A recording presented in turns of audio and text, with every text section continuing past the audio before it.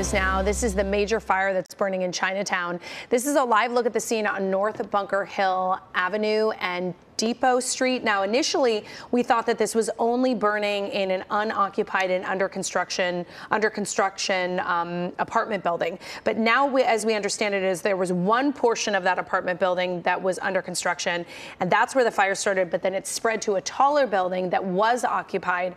So now the new numbers are that five people were injured, one of them critically. And we do have, um, we do know that this started around 3:43 this morning. Um, heavy fire there showing on arrival. Fire crews went into defensive mode right away. Uh, we're hearing their total of five patients now. One was critical that was transported. And just like Christine mentioned, this has spread to at least two other buildings. Um, we have a total of three buildings that were impacted. Lots of smoke throughout the Chinatown area, downtown area, possibly along some of the freeways there as well, because anytime something happens in that specific area, it can kind of, you know, create that effect of the smoke uh, having the impact on the 101, the 110, the 5 freeway with, you know, drivers starting off for their morning commute. And look um, at this. It, I, am sorry, I don't mean to interrupt oh, you, but okay. look at this shot when we pull out how many fire trucks there are on. Oh, it looks like three different streets just surrounding mm -hmm. this um, somewhat massive complex. It certainly looks big. And yeah. we just got word from the producer three buildings affected, not necessarily burned, but affected. Mm -hmm. uh, obviously, a lot of smoke damage as well. And maybe we should listen to that neighbor who was talking about the fact Oh, no sound. But uh, a neighbor said they're not all that surprised this happened mm -hmm. because they said there's been fires that have been started over the past couple of months in the portion of the apartment complex that is under construction. We do know that arson investigators are on the way there uh, currently, even though that neighbor did say that. Um, no word on what started that fire, but you can see in the two boxes that we have on your screen the progress that the fire crews have made, which is great news. And gosh, firefighters have just been doing so much yeah. in Southern California. California recently. And it looks like they might be trying to. I don't know if this building is was was empty, but you can see mm -hmm. firefighters on a balcony there with their flashlights.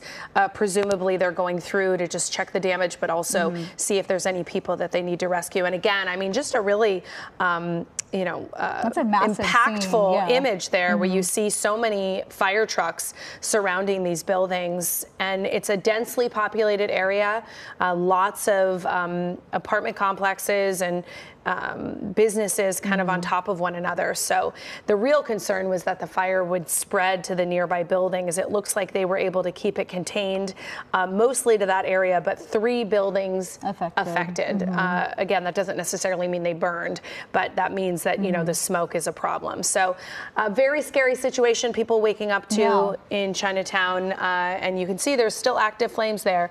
Lots of firefighters on the roof. You can see their flashlights, flashlights, out, trying to just moving through and they're in the um, top floor yeah. of the uh, complex. And it's so dark, you can't really see how many people are outside, possibly waking up to this, wondering what's going on. And when SkyCal zoomed out, you could see the freeway that was there, which looked like the 110. But it doesn't seem like there's as much smoke as what we saw initially. Of course, with that patch that they're focusing and tackling right now, we could possibly see some more smoke, but you can see that it kind of went away just then. So they're getting a great handle on this fire. It's such an unfortunate situation uh, yeah, either way.